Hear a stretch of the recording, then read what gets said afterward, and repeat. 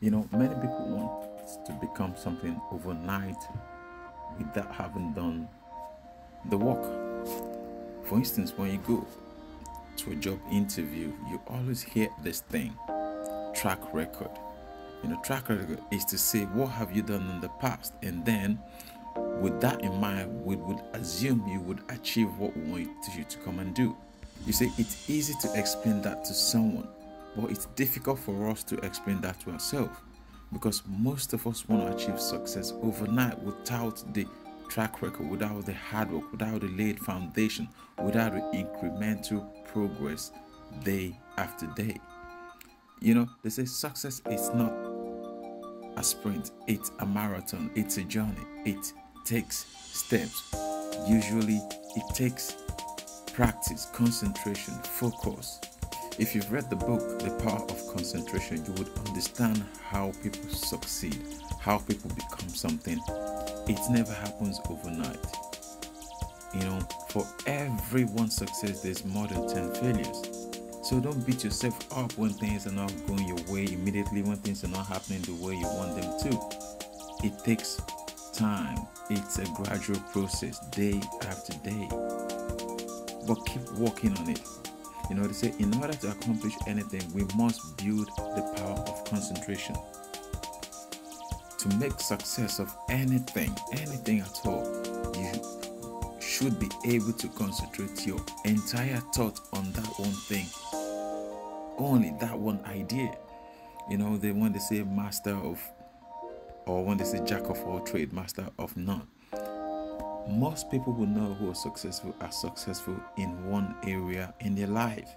They might be failures in their marriages and everything, but they're very successful in one thing and will recognize and celebrate them for that thing. So don't run and chase other things because that's what people around you are doing and you feel you have to do it look for that thing you gifted that's what steve harvey says he says look for what you're gifted in not necessarily what you're interested in not necessarily what you like to do not necessarily what people around you are doing but what you believe you have the gift for and that thing you can work on it gradually day by day time by time week by week until it materializes onto what it should be so work on your goal. Do not be discouraged if if if you fail or if you can't focus when you start. There's very few people who can do something, who can hold their focus and concentration, especially when things are not going to plan. You know how it is. The minute you want to focus on something meaningful, something irrelevant comes to your mind because it's fun to do.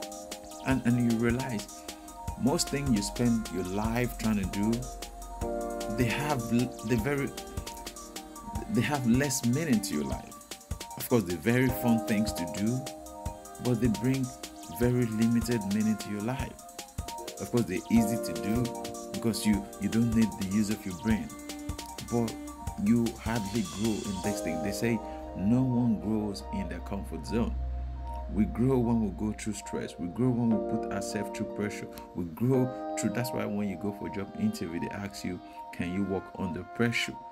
Can you work under pressure?"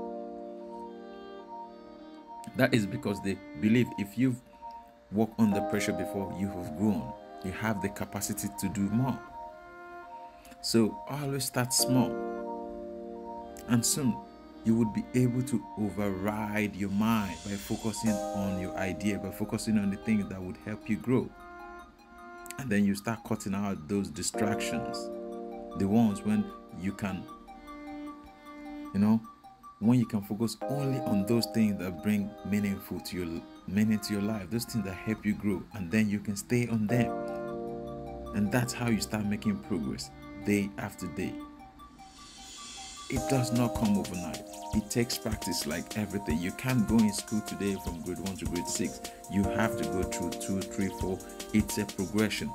So if you know everything around you, it's progression. Why do you ask yourself for perfection from the very start?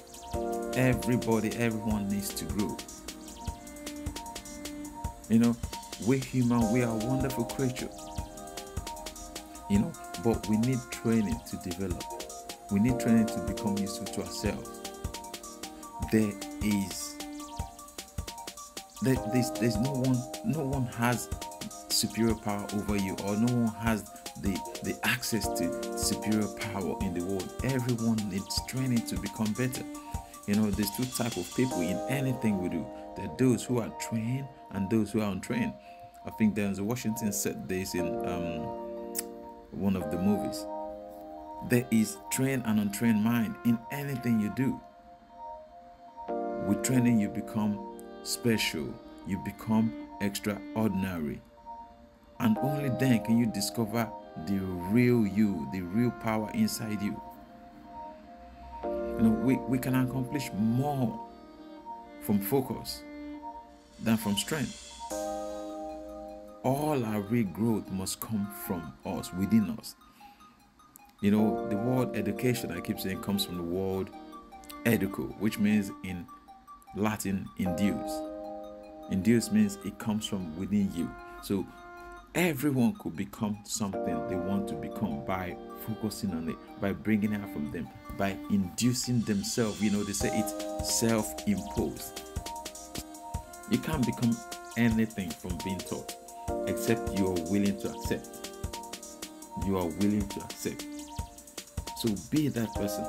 Be that person who uses the power of focus to become something be that person who uses the power of focus to grow. Be that person who does not allow distraction, uh, procrastination, um, time on, on different social media platform to absorb your time. Give more time to things that will help you grow, things that will challenge you, things that will make you become better in anything you do. And don't be that person who chases what every other person around you is doing. Be that person who is willing to pick something and give it a go 100%. You will see yourself, you start becoming better, you start growing, you start advancing. Because everything you give time to grow, just like plant, you water it more, it grows.